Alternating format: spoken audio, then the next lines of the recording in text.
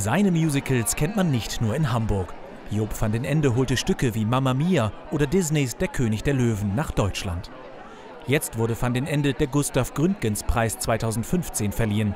Ein Preis des Deutschen Schauspielhauses und der Hamburger Lions Clubs für seine Verdienste in der Hamburger Musical- und Theaterwelt. Job van den Ende ist in der Bühnenkunst, die er gewählt hat, in der traditionsreichen Kunst des Musicals sicherlich einer der unbestrittenen Meister seines Faches.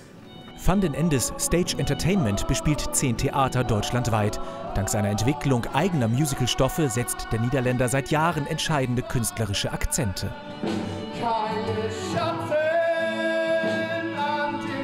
Sönke Wortmann schätzt den Preisträger seit der Zusammenarbeit für die Musical-Adaption seines Films Das Wunder von Bern.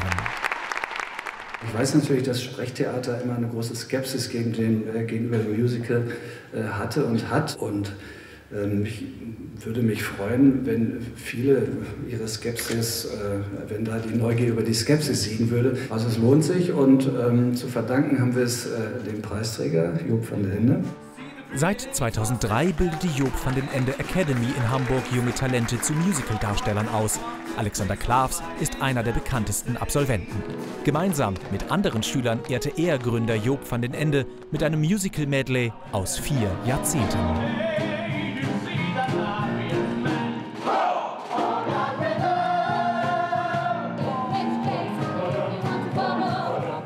Er machte Hamburg mit Musicals wie Der König der Löwen, Mamma Mia, Tarzan und vielen anderen zur Musical-Hauptstadt. Und die Zahlen sind tatsächlich imposant. Stage Entertainment begrüßt weltweit mehr als 10 Millionen Besucher davon pro Jahr, davon 2 Millionen allein in Hamburg.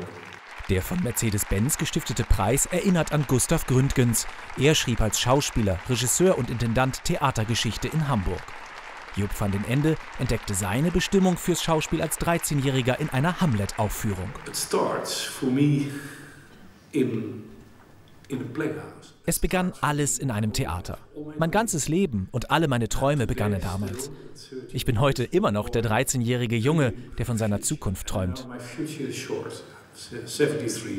Ich weiß, meine Zukunft ist kurz, ich bin 73, aber ich werde bis zum Ende arbeiten, um Menschen zu unterhalten und um Schauspieltalente zu fördern.